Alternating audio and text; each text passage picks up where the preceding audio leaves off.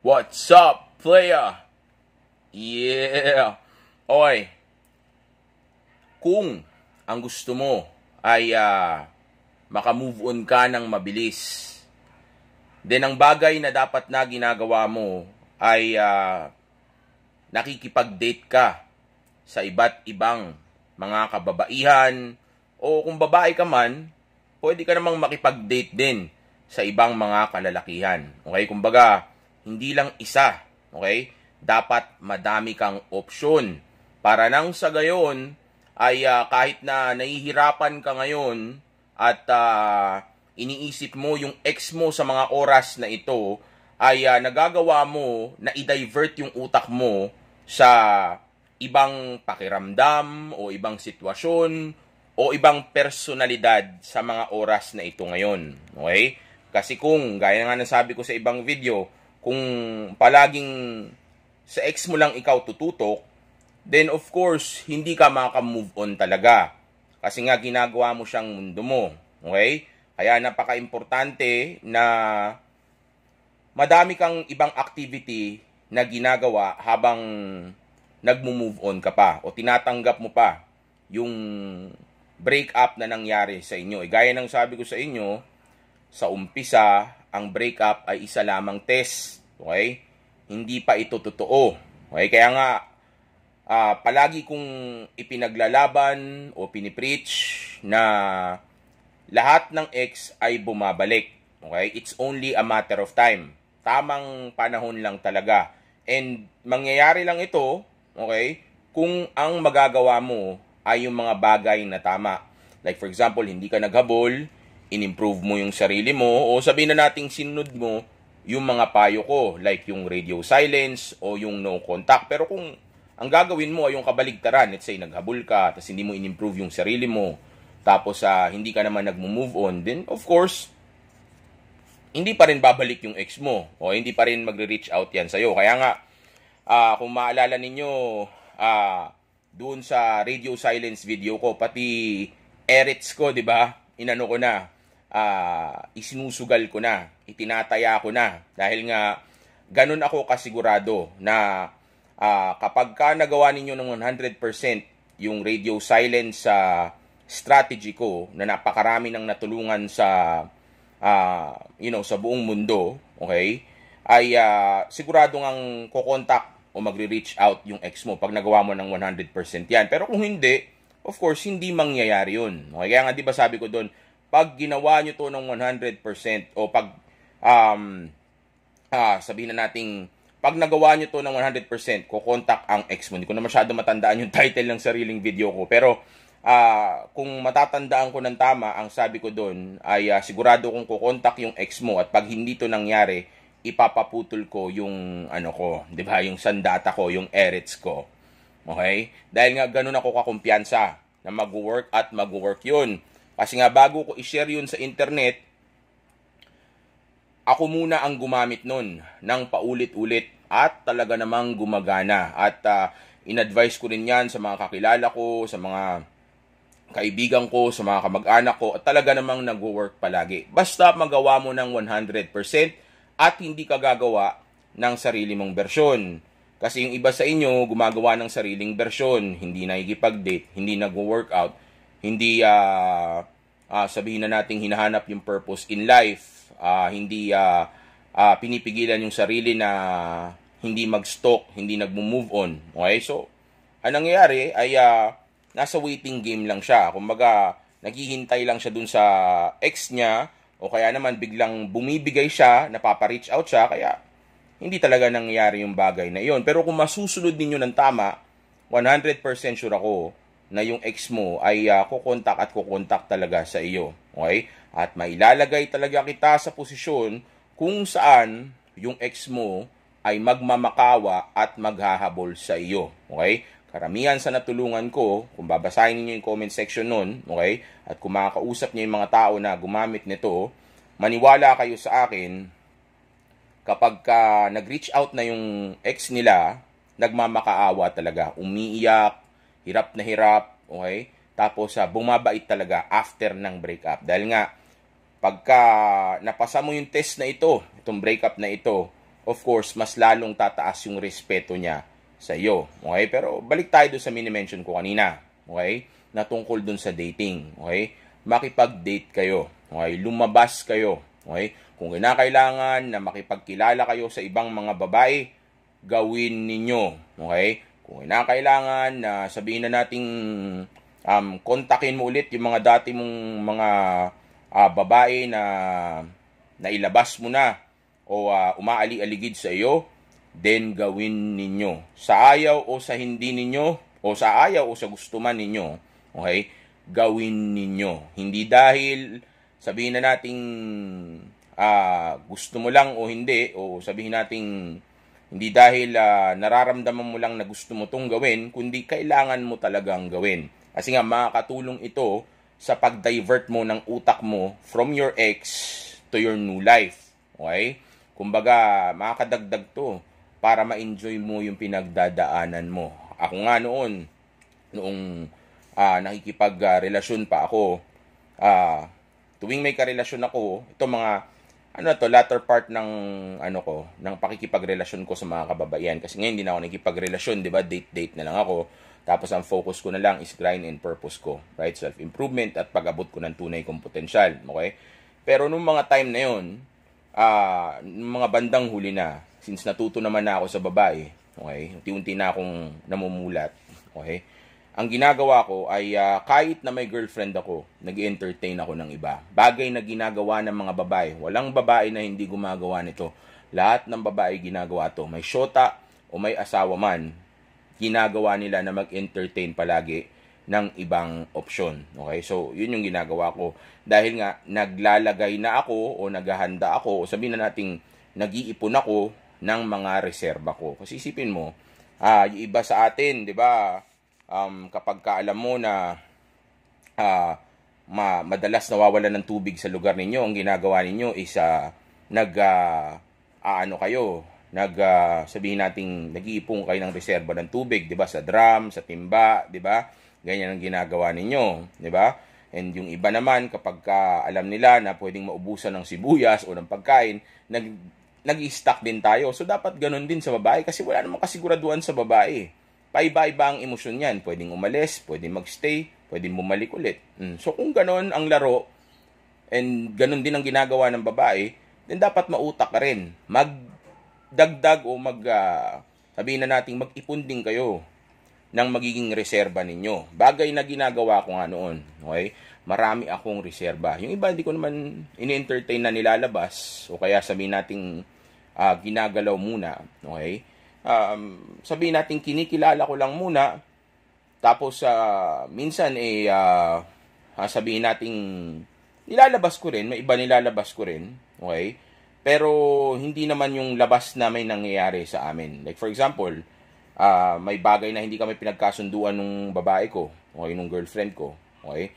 Ang ginagawa ko, dun sa oras na yon, dun ko siya niyayaya para lumabas, okay? O kaya sabihin nating uh, kapag ka, uh, meron siyang hindi sinunod sa akin, so ang gagawin ko, lalabas ako, tapos imimit ko yung babae. Okay, ganun yung ginagawa ko. O kaya naman, kilalanin mo lang yung babae, o kaya kausapin mo lang yung babae, tapos, ireserba mo lang siya. Huwag mo munang ilabas. Basta dapat may reserba ka. Okay? Bagay na ginagawa nga ng mga, um, sabihin nating kababaihan simula noon hanggang ngayon. Kaso nga lang mga lalaki, hindi ginagawa ito. Kasi tanga-tanga yung mga lalaki. Di ba? Laging nai-in love, sobrang romantiko. Yung mga babae naman, ina-outsmart yung mga lalaki sa dating, kaya sila ay magagaling sa game. Okay, kaya nga na-outsmart tayo. Mas magagaling sila, mas mauutak. Hmm, ba? So dapat ganun din kayo. Okay? Dahil tandaan nyo, walang babae sa mundo na kayang magmahal ng totoo. Okay, kaya lang kayong mahalin ng mga yan dahil sa emosyon.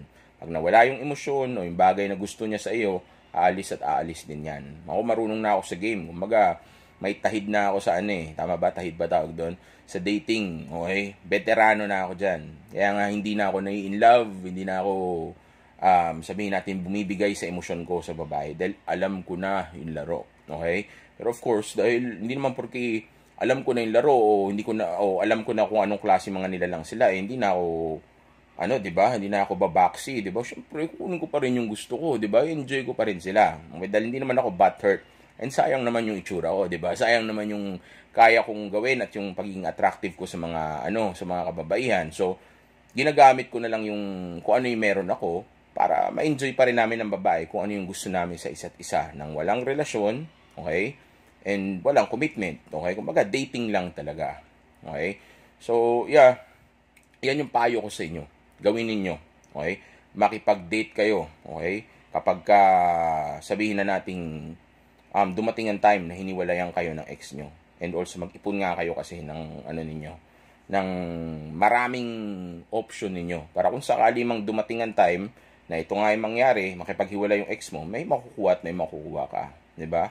Marami sila. Okay? Meron kang option palagi. Gaya ng sinabi ko nga sa inyo kanina, uh, na ginagawa ko. Medyo nawala kasi ako doon. Meron kasi akong gustong ipunto na sabihin sa inyo. Okay? Pero kung sakali man na nawala ako doon, uh, baka idagdag ko na lang yan sa ibang video. Pero yun nga yung punto ko lang doon. Basta noon nga kasi Ganyan ang ginagawa ko. Nagdadagdag ako ng maraming option para kung sakali man na maubusan ng tubig, may tubig sa drum, 'di ba? O mawalan ng tubig, 'di ba? May tubig sa drum. Ubusan ng supply ng sibuyas at biglang magmahal, may makukuha at may makukuha ako. Okay?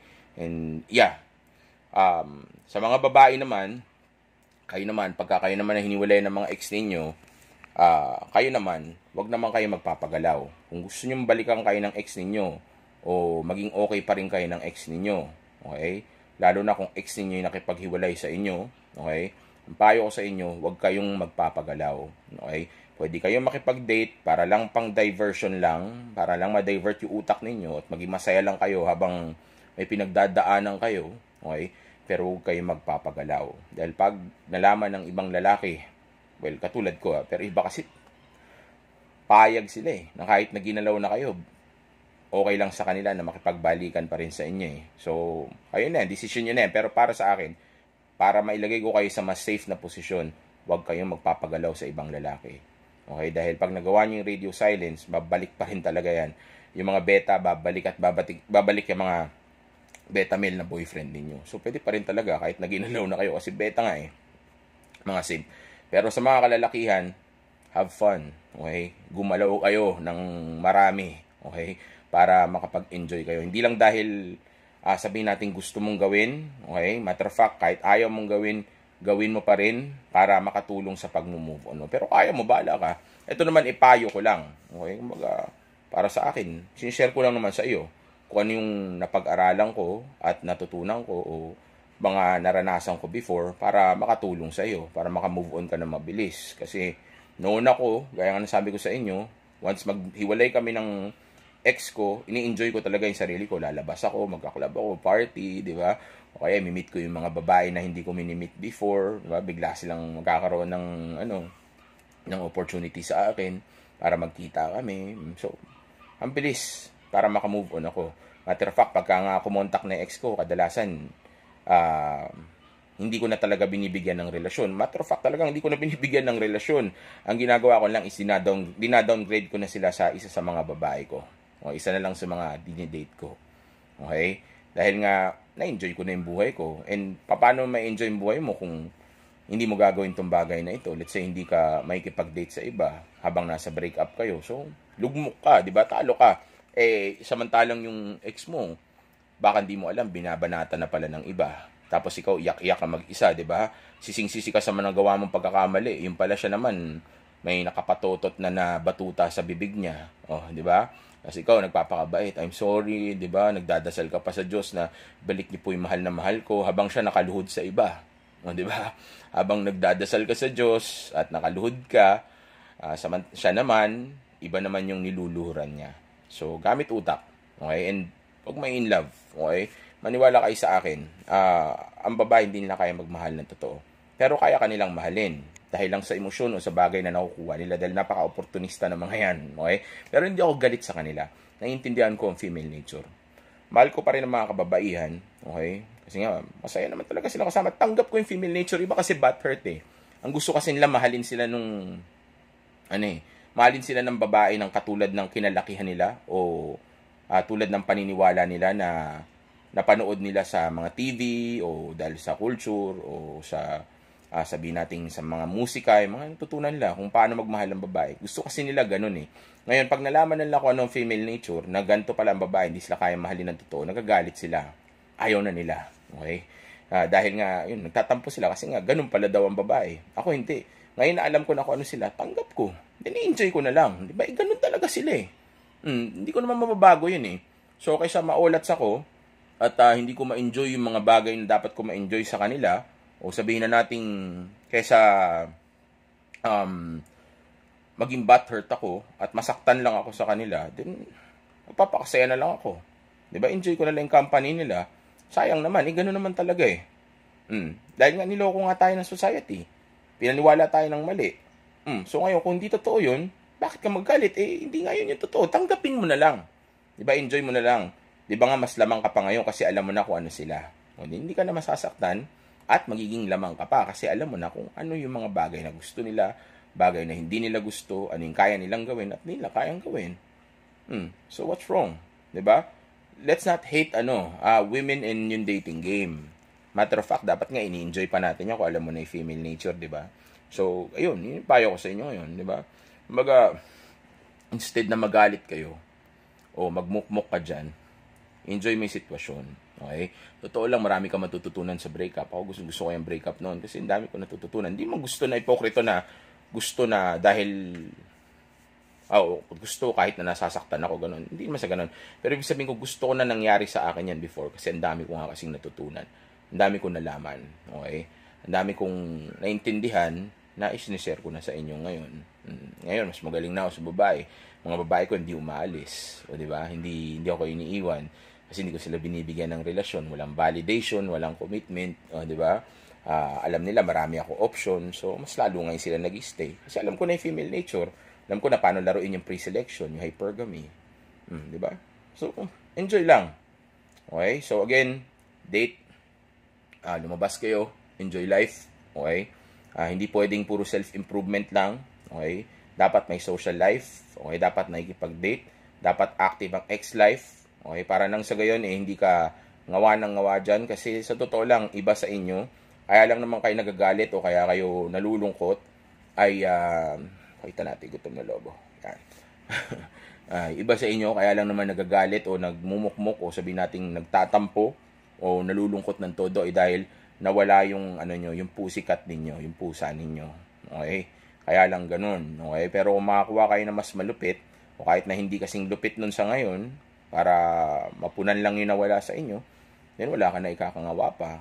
Sa totoo lang, baka pag nagkaroon ka pa ng babae na uh, mas malupit o kahit hindi kasing lupit niya. Okay? At meron ka na ulit pusa, maniwala ka sa akin, totoo lang, biglang pwede ka pang sumayaw. Sabi na, tumahimik na lang muna bigla. Baka ayaw mo na ibalik yung ex mo. Kasi ito lang, iba nga sa inyo kasi yun lang talaga yung habol. Okay? Kahit na-attach pa yung emosyon. Maniwala kayo sa akin, yung iba sa inyo. Kaya lang kayo nagkakaganyan ay dahil lang may nawalang ganun sa inyo. Okay? So, enjoy. Okay? Wag yung dinadama ninyo yung drama eh. Okay, doon tayo mag-focus sa solution. May solution naman na eh. Nandiyan na yung playlist ko. Talagay ko ulit yung link dyan. Playlist ng how to move on and how to get your ex back. Okay, panoorin niyo lahat yan, lalo na yung radio silence sa video ko. Classic yan. Hindi na kayang tapatan niya kahit sino sa Pilipinas o sa Amerika. Napakalupit niyan. Napakarami nang natulungan yan. Maniwala kayo sa akin. Hindi lang para ibalik yung mga ex nila, kundi para maka-move on at mahanap yung purpose nila in life, mas maging strong sa buhay. Napakadami nyo matututunan dyan. Okay, kaya panoorin yan. Libre lang yan. Hindi ako nanghihingi ng bayad dyan. Okay? Uh, ang dami ko nang natulungan dyan and also at the same time, mm, sabihin natin maituturo pa ninyo ito sa mga kakilala ninyo. Diba? Kung magkaroon ka ng anak someday, o magkaroon ka ng kapatid na magdaan sa ganito, matutulungan mo ngayon sila. Okay? Tandaan mo, huwag kang makasarili, hindi lang hindi mo lang kailangan mag-move on para sa sarili mo, kundi para din sa mga tao nagmamahal sa iyo. Kasi yung babae na iyan, replaceable yan. Napakaraming babae sa mundo. Okay? Apat na bilyong kababaihan mayroon tayo sa mundo. Okay? Kaya huwag kang matakot na mawalan. Kasi nga, gaya ng sabi ko sa inyo, um, ano sila eh, baga, hindi nga sila loyal, di ba? Paiba-iba yung emosyon nila. So, pwedeng umalis, pwedeng bumalik, pwedeng umalis na naman, tapos bumalik na naman. Okay, so dapat may abundance mindset. And para magkaroon ka ng abundance mindset, kailangan may abundance of option ka. Kaya kailangan makipag-date ka. Okay? mag-ipon kayo lagi ng reserba. Okay, para nang sa gayon ay hindi tayo palagi naiisahan ng mga kababaihan na iyan. Good luck. Huwag ka mag-alala. Makaka-move on ka din.